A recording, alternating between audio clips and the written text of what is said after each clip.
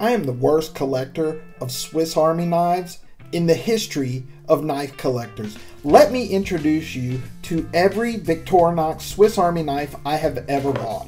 First up, the Victorinox floral knife, also known as the gardening knife, one blade. Next up, the Victorinox gardening knife, also known as the floral knife, one blade. Last up, the Swiss Army One, one blade. I have three Victorinox Swiss Army knives, and they all have one single blade. That kind of defeats the purpose, doesn't it? I'm the worst.